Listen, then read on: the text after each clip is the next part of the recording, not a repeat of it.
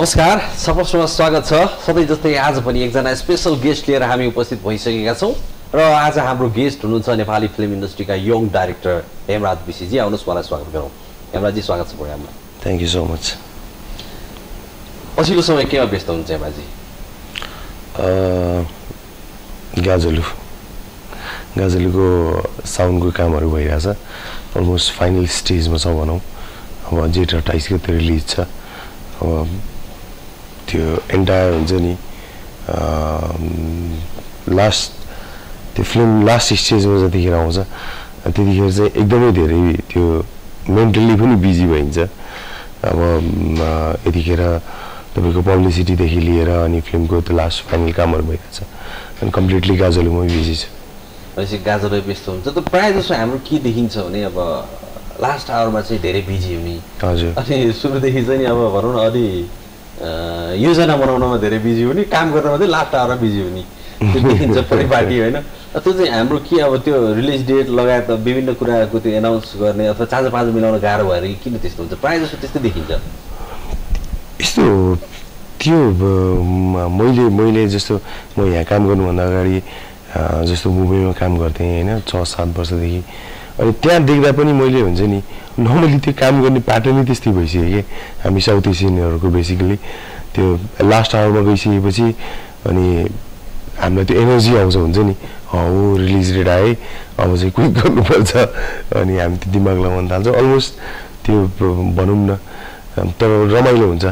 आफूलाई पनि खुसी लाग्छ हुन्छ नि त्यसरी काम गर्दाखेरि। अनि पहिला चाहिँ फुर्सद सधैँ छ नि समय यति बाँकी छ भने अनि त्यस्तो पनि हुँदैन अब पहिला पनि फु पहिला फुर्सद चाहिँ हामी छोडा हुँदैनौँ त्यो बाहिरबाट हेर्दाखेरि आई गेस त्यस्तो देखिन्छ होइन पहिला पनि काम चाहिँ गरिरहेको हुन्छौँ जो फिल्म सकेर आइसकेपछि पनि एडिट लाइनअपदेखि लिएर एडिटरले हुन्छ नि एडिटर एसिस्टेन्ट बसेर एसिस्टेन्ट एडिटर बसेर त्यो लाइनअप गर्नेदेखि लिएर सब चिज भइरहेको हुन्छ तर खालि बाहिरबाट हेर्दाखेरि चाहिँ मलाई जहाँसम्म लाग्छ अलिकति त्यस्तो देखिन्छ तर काम चाहिँ भइरहेको हुन्छ एउटा जस्तै तपाईँले गाजल फिल्ममा चाहिँ नि एउटा कुमारीको कथावस्तुलाई विषयवस्तुलाई उठाउनु भएको छ होइन? हजुर। त्यसमा चाहिँ तपाईँले सुरुदेखि रिसर्च गर्दाखेरि नै उहाँहरूसँग अझ विशेष गरी कुमारी घरसँग चाहिँ नि टचमा रहेर उनीहरूसँग सम्पर्क रहेर नै कथावस्तु निर्माण गर्नुभयो रिसर्च गर्नुभयो। फिल्म बनाउनुभयो। तर तथापि पछाडि चाहिँ नि केही विवाद रहेको जस्तो कुरो सुन्नमा आयो। र। त्यो अहिले के छ? कुन स्थितिबाट त्यो अवस्था गुज्रिरहेको छ? त्यो विवाद भन्दा पनि खासै भा के हो भन्दाखेरि जस्तो मैले त्यो स्क्रिप्टको ऊदेखि नै फेजदेखि नै मैले उहाँहरूसँग कन्सल्ट चाहिँ गरिरहेको थिएँ कुमारी घरको मान्छेहरूसँग। अनि जब ट्रेलर रिलिज भएर ट्रेलरमा हामीले जुन त्यो एउटा डायलग राखेको छौँ हुन्छ नि कुमारीलाई बिहे गऱ्यो भने चाहिँ अशुभ हुन्छ भनेर त्यो डायलगले गर्दाखेरि जति पनि वरिपरिको कम्युनिटीमा मान्छेहरू हुनुहुन्छ त्यो कुमारी घरको उहाँहरूलाई चाहिँ अलिकति त्यो अफेन्डेड भा हो होइन उहाँहरू। अनि त्यो भइसकेपछि उहाँहरू कुमारी घर पुग्नुभयो। अनि कुमारी घर पुगिसकेपछि हामी अब पहिलेदेखि त्यो कुरा गरिरह भएर कुमारी घरदेखि मलाई बोला बोलाइयो। कुमारी घरको पदाधिकारीहरूले मलाई बोलाउनु भयो। अनि मैले गएर त्यो चिज एक्सप्लेन गरिदिइसकेँ फिल्ममा के हो र कसरी आउनेवाला छ। अनि उहाँहरू चाहिँ त्यो फिल्म रिलिजभन्दा अगाडि एकचोटि फिल्म हेरौँ न भन्ने जोनमा हुनुहुन्छ। र म त्यो अब छिटै नै भनौँ न त्यो सेन्सर सँगसँगै त्यो पनि गर्दैछु। उहाँहरूलाई फिल्म देखाउँदैछु। यदि त्यस्तो केही उहाँहरूलाई प्रब्लम भयो भनेपछि हामी त्यसमा वर्कआउट पनि गर्नेछौँ। अनि मेरो मेन मोटिभ चाहिँ जस्तो एक्स कुमारीको स्टोरी उठाइसकेपछि कसैको पनि कसैको पनि त्यो एउटा रिलिजियस सेन्टिमेन्टलाई होइन त्यो हर्ट गर्ने मेरो उद्देश्य होइन। अनि त्यसले गर्दाखेरि हामीले त्यो चिजहरूमा ध्यान दिएछौँ र डेफिनेटली त्यो प्रब्लमहरू सर्ट आउट हुन्छ जस्तो लाग्छ मलाई। जस केही समस्या भए पनि देखाएर समाधान गर्नुहुन्छ हजुर हजुर हजुर। जस्तै कुमारीको विषयवस्तुमा थुप्रै डकुमेन्ट्रीहरू पनि बनाएका छन् सर्ट फिल्महरू पनि बनाएका छन् होइन। कतिपयको कुरा के छ भने कुमारीको विषय पनि कमर्सियल हुनसक्छ र भन्ने किसिमको प्रश्न पनि आउँछ जिज्ञासा पनि आउँछ होइन? तपाईँहरूले चाहिँ कसरी त्यो विषयवस्तुलाई प्रेजेन्ट गर्नुभएको छ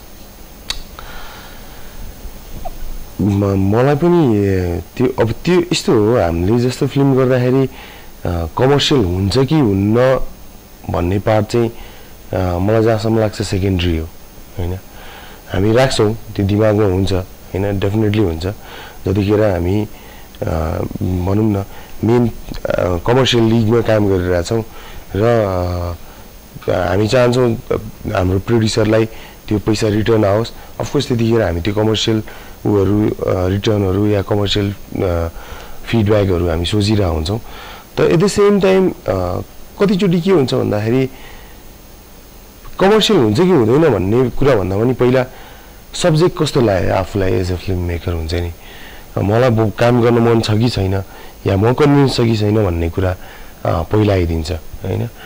अनि ज जस्तो गाजलीको केसमा अब एउटा एक्स कुमारीको कथा त्यो कमर्सियल होला कि नहोला त्यो भोलिको दिनहरूले भन्ला फ्राइडे रिलिजपछि आफै थाहा हुने कुराहरू हो होइन? तर अ, फिल्म बनाउँदाखेरि चाहिँ मलाई चाहिँ त्यो एनर्जी एउटा एक्साइटमेन्ट थियो हुन्छ नि? अनि दिस दिस इज समथिङ मलाई आई वान्टेड टु टेल हुन्छ नि? अब त्यो एज ए स्टोरी टेलर अनि त्यसले गर्दाखेरि मैले एटेम्प गराएँ जस दर्शकको मन छुन्छ भन्ने कुरामा। तपाईँ विश्वस्त हुनुहुन्छ। हजुर हजुर। जस्तै हेमराजी तपाईँको फिल्म चाहिँ नि अब भनौँ न होस्टेल हजुर। त्यसपछि जेरी। हजुर। तर सम्बोधन पनि आयो तर त्यत्तिकै त्यसले चाहिँ नि कमर्सियल्ली सफलता प्राप्त गर्न सकेन।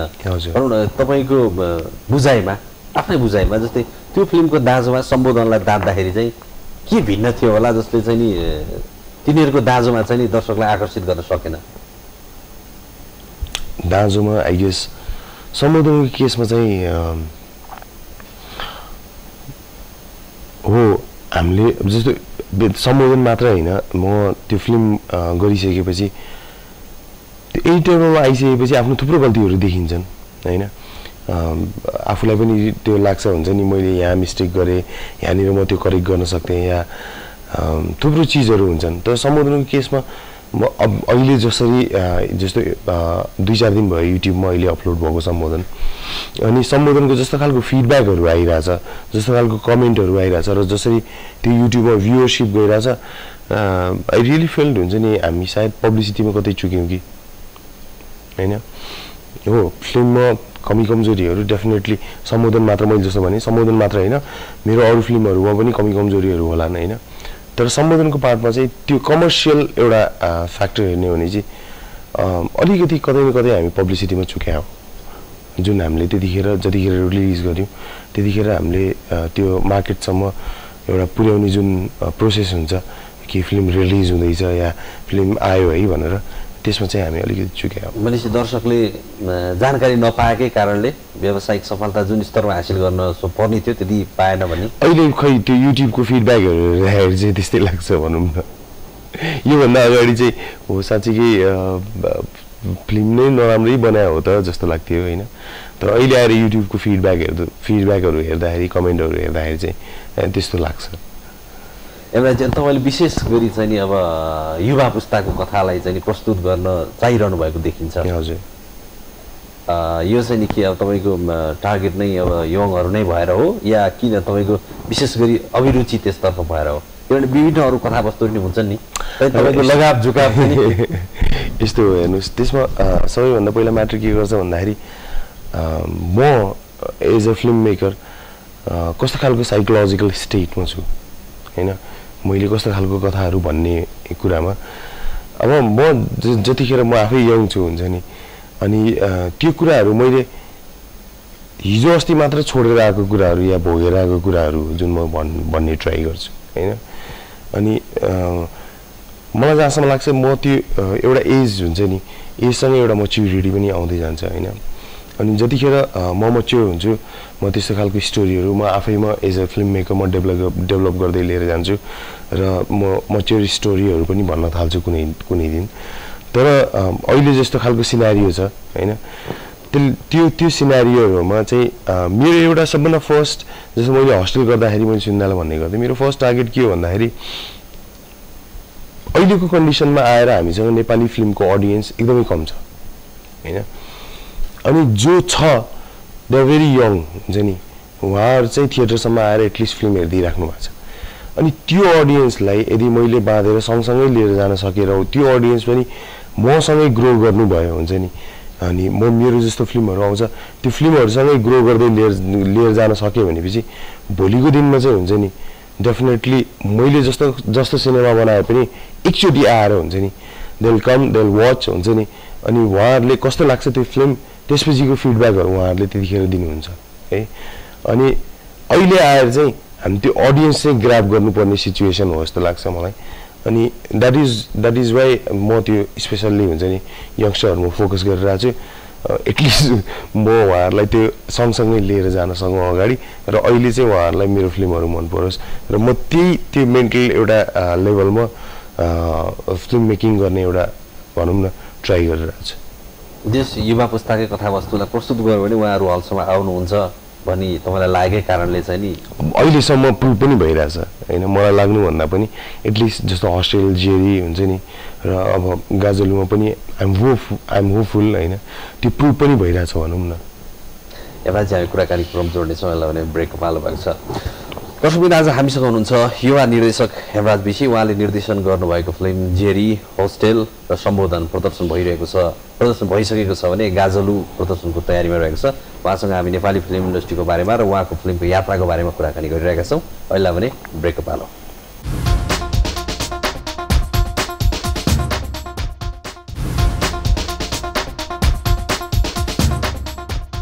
ब्रेकपछि पुनः स्वागत छ। आज हाम्रो स्टुडियोमा हुनुहुन्छ नेपाली फिल्म इन्डस्ट्रीका युवा निर्देशक हेमराज विशी।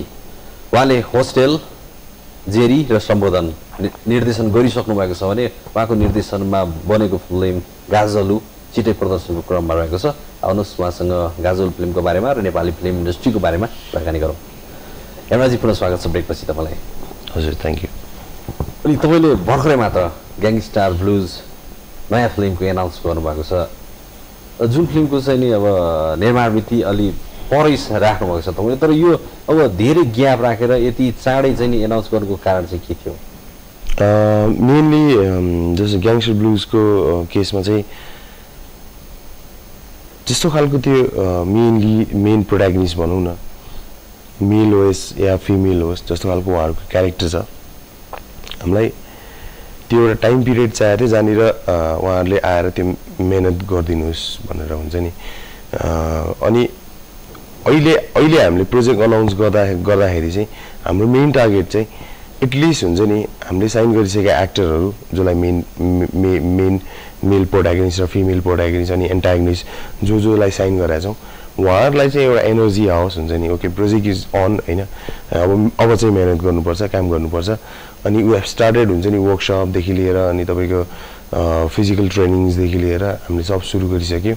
अनि त्यो एउटा पोजिटिभ एनर्जी आओस् पोजिटिभ भाइब आओस् उहाँहरूलाई पनि भनेर अनि उही अनाउन्स्ड आवर प्रोजेक्ट हुन्छ नि यति अर्ली अनि त्योभन्दा अरू रिजन चाहिँ के पनि छैन। भनेपछि त्यसकै एउटा पूर्व तयारीको लागि भनौँ न। हजुर हजुर हजुर। अहिलेदेखि तपाईँहरू तयारीमा जुटिरहनु भएको छ। हजुर। तर एउटा भनिन्छ नि अहिले एनाउन्स गरेर अलि ढिला सुटिङ गर्दाखेरि चाहिँ अलि उहाँहरूको त्यो व्यस्ततालाई उहाँहरूलाई त्यो परिबन्धमा पारे जस्तो बाँधे जस्तो चाहिँ नि पनि त महसुस होला। किनभने तपाईँहरूले चाहिँ सम्झौतै त्यस्तो गर्नुभएको छ कि नायक नायिकाले चाहिँ अर्को फिल्ममा काम गर्न नपाउने त्योसम्म तपाईँको फिल्म रिलिज नभएसम्म अथवा सुटिङ नसकेसम्म त्यस्तो खालको तर उहाँहरू त धेरै लामो समयसम्म तपाईँहरूसँग बाँधिन पर्ने बाध्यता भयो नि त। यस्तो हो। बाध्यता भन्नाले अब हामीले डेफिनेटली त्यो कन्ट्र्याक्टहरू गन पोइन्टमा साइन गरे होइन होइन। उहाँहरूलाई पनि त्यो लायो हुन्छ नि जस जस्तो खालको स्क्रिप्ट छ। अनि त्यो त्यो स्क्रिप्टमा अब हरेक फिल्म एउटा हरेक प्रोजेक्टको हुन्छ नि एउटा टाइम ड्युरेसन हुन्छ कसरी गर्ने के गर्ने। ग्याङ्स्टर ब्लुजको स्क्रिप्ट जस्तो खालको छ त्यसमा त्यति त्यतिको टाइम उहाँहरूले पनि दिनुपर्छ होइन। अनि त्यो त्यो चाहिँ उहाँहरू कन्भिन्स भएर हामी हो हामी यति टाइम लाग्छ र यस्तो खालको सब्जेक्ट हो भनेपछि हामी पनि त्यो मिहिनेत गर्छौँ हाम्रो पार्टबाट भनेर उहाँहरू कन्भिन्स भएर आउनुभयो। हो अनि त्यसमा मलाई लाग्दैन त्यो उहाँहरूलाई पनि कुनै प्रब्लम छ होइन? अनि यो यस्तो खालको डेडिकेसन यदि हुन्छ नि हामी हरेक फिल्ममा गर्न सक्यौँ र हामीले हरेक फिल्ममा देखाउन सक्यौँ भनेपछि ट्रस्टमी हामी नेपाली फिल्म इन्डस्ट्रीलाई एउटा लेभलमा चाहिँ लिएर जान्छौँ होइन? अब त्यही त्यही त्यसकै पार्ट हो भनौँ न अब ग्याङ्स्टर ब्लुजमा जुन अहिलेसम्म एक्टरहरूले जुन डेडिकेसन देखाउनु भएको छ। उहाँहरू अग्रिड भएर नि त्यो उ भयो हो मलाई लाग्दैन त्यसमा कुनै प्रब्लम होला भनेर तपाईँले भने जस्तो हुन्छ नि दस महिना या एक डेढ वर्ष बाँधिनु पर्ने एउटा त्यो बाध्यता भन्ने चिज अप्ठ्यारो पर्ने स्थिति त्यस्तो त्यस्तो बाध्यता भन्ने चिजै छैन। दे आर इन्जोइङ इट उहाँहरूलाई त्यो हुन्छ नि गर्न मन भएरै गर्नु ग्याङ्स्टर ब्लुजको फेरि पनि कुरा गरौँ होइन। तपाईँले चाहिँ नि त्यो फिल्ममा अनमोल केसीलाई रिपिट गर्न चाहनुहुन्थ्यो। तपाईँको चाहना थियो। तर अ, पछिल्लो समय केही तपाईँको र अनमोल बिचको सम्बन्ध नराम्रो भएको कारणले पनि हो कि भन्ने यता कता सुन्नमा आइरहेको छ होइन? अँ। के भन्नुहुन्छ यसलाई? अ, अनमोल र मेरो बिच अ, त्यस्तो अ, सम्बन्ध नराम्रो चाहिँ अ, कहिले पनि थिएन र कहिले हुने पनि छैन होइन? जहाँ अ, अ, त्यो let me clear you the fact होइन? अनमोल र म प्रोफेसनली काम गर्ने नगर्ने द्याट्स आवर प्रोफेसनल डिसिजन हुन्छ नि? उसले मसँग काम गर्ने या मैले उसँग काम गर्ने कि नगर्ने। अनि प्रो पर्सनल लाइफमा हामी त्यो प्रोफेसनल लाइफलाई ल्याएर मज गर्नै चाहन्नौँ। हामी पर्सनली वी भेरी क्लोज हुन्छ नि। अनि अहिले त ऊ अब लन्डनमा छ अब गाजलीको ट्वेन्टी नाइन मेमा प्रिमियर छ लन्डनमा र होपफुल्ली मेरो भिजाहरू प्रोसेसिङ भइरहेछ। म पनि जाँदैछु लन्डन। वी मिटिङ दे हुन्छ नि। अनि जस्तो बिचमा त्यो अरू क्वेसनहरू पनि आयो म एड गरिदिइहाल्छु त्यतिखेर। जस्तो अनमोल गाजलको प्रमोसनमा हिँडिरहेको छैन अनमोल गाजलको प्रमोसनमा पनि हिँड्छ। Once he'll be back from London होइन? ट्वेन्टी नाइन मेमा सो हुन्छ। दुई तिन दिन त्यसको पछाडि हामी लन्डनदेखि रिटर्न हुँदैछौँ। र रिलिजभन्दा टु विक्स अगाडि अनमोल हरेक हुन्छ नि गाजलको प्रमोसनमा हरेक चिजमा ऊ हिँडिरहेको हुन्छ है? प्रोफेसनल्ली भयो personally we are very close होइन? र फिल्म जहाँसम्म फिल्म नगर्ने कुरा छ अनमोलको जस्तो मैले भने मलाई जस्तो खालको क्यारेक्टर छ र मलाई जुन त्यो एउटा एक्टर आइसकेपछि जुन एउटा त्यो डेडिकेसन दिनुपर्ने थियो त्यो सर्टेन टाइम टाइम पिरियडको भनौँ न जस्तो अहिले त अघि त्यो फर्स्ट क्वेसन गर्नुभयो जुन तपाईँले योभन्दा अगाडिको क्वेसनकै एन्सर हो। त्यो दस एघार महिना अहिलेको टाइममा अनमोलसँग हुन्छ नि त्यो म्यानेज गर्नलाई एकदमै गाह्रो भयो होइन? त्यो गाह्रो भइसकेपछि म्युचुअल्ली हुन्छ नि हामीले कुरा गरेर ओके फाइन होइन? त्यो गाह्रो नै भइसकेपछि अब त्यो टाइम पिरियड त्यत्रो म्यानेज गर्न नसकिसकेपछि अनि त्यसपछि पछि चाहिँ हामीले ग्याङ्स्टर ब्लुजमा हामी नेक्स्ट अर्को कास्ट लिएर हामी अगाडि बढायौँ। जस पहिलो रोजाइमा उहाँ पर्नु भएको थियो तपाईँहरूको क्राइटेरियालाई उहाँले मिट गर्न सक्नु भएन भनौँ न समय काल परिस्थितिले उहाँ चाहिँ अट्न नसक्ने स्थिति सिर्जना भएको कारणले गरेर तपाईँले त्यसको विकल्प सोच्नु पर्यो र अर्को नवकलाकारको प्रवेश भयो। हजुर। एटलिस्ट हुन्छ नि हामी त्यति जेन्युन चाहिँ हामी हुन सक्छौँ होइन? ऊ हो फर्स्ट चोइस हो होइन? हामीले त्यतिखेर अब योभन्दा अगाडि कुरा पनि भयो होइन? अब उसले उसलाई स्क्रिप्ट पनि थाहा राम्रोसँग थाहा छ। अनि उसले आफैले एक आफ्टर अ पोइन्ट हुन्छ नि उसले आफैले पनि त्यसपछि पछि सजेस्ट गरे कि दाइ जति खालको टाइम हजुरलाई चाहिएको छ होइन? त्यतिखेर चाहिँ अब त्यो यति धेरै टाइम चाहिँ मलाई म्यानेज गर्नु अलिकति गाह्रो हुन्छ होला होइन? अनि त्यसपछि पछि चाहिँ एक्चुली हजुर। अब फेरि कस्तो भइसक्यो भन्दाखेरि हेमराज बेसी अनमोल केसी हेमराज बेसी अनमोल केसी भइसक्यो होइन? एक पोइन्टमा गएर हामीले त्यो पनि ब्रेक गर्नुपर्ने थियो होइन? उसले पनि डिफ्रेन्ट डाइरेक्टरसँग काम गर्नु पऱ्यो मैले पनि डिफ्रेन्ट एक्टरसँग काम गर्नु पऱ्यो। त्यसले गर्दाखेरि पनि त्यो हुन्छ नि ग्याङ्स्टर ब्लुजमा चाहिँ चेन्जेस आएको हो। जस्तै देखिन्छ पनि नि जस्तै अनमोलजीले चाहिँ नि जति पहिलाको फिल्मलाई चाहिँ नि चासो दिनुभएको थियो जति चाहिँ प्रमोसनमा सक्रिय रूपमा लाग्नु भएको थियो। हजुर। त्यति चाहिँ अब त्यो लेभलको चाहिँ नि अलि देखिया छैन नि। किनभने एक महिना मात्र बाँकी रहँदाखेरि एउटा एक्टरले गर्नुपर्ने सपोर्ट अथवा आउनुपर्ने कुराहरू अभिव्यक्तिहरू चाहिँ होइन यस्तो। त्यो त्यो देखिन्छ मात्र होइन। त्यस्तो त्यो एउटा हुन्छ नि बाहिर प्रेजेन्ट चाहिँ त्यसरी भ- भए हो।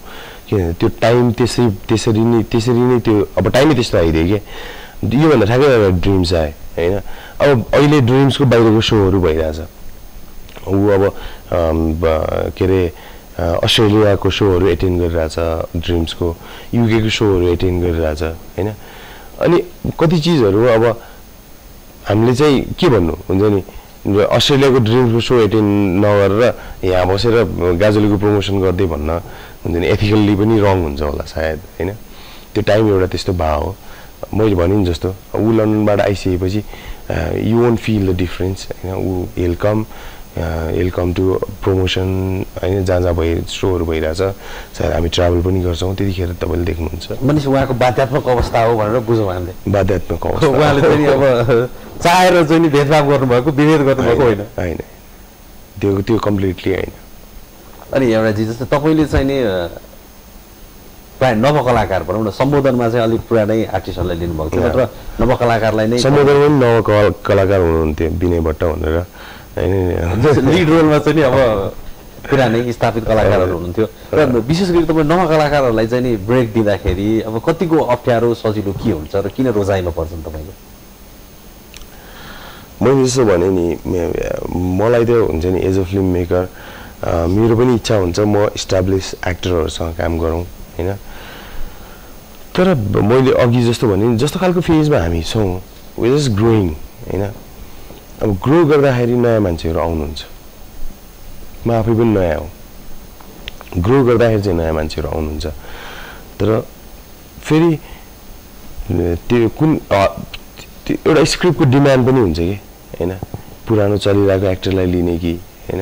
यसमा फ्रेस फेस कास्ट गर्ने कि? त्यस्तो त्यस्तो त्यस्तो क्राइटेरियाहरू पनि त्यो स्क्रिप्टले आफै डिमान्ड गर्ने चिज हो। हामीले भन्दा पनि स्क्रिप्ट पढिसकेपछि तपाईँले आफैले पनि फिल गर्नुहुन्छ औ यसमा चाहिँ हुन्छ नि पुरानो यो एक्टरहरूलाई लियो भने हुन्छ।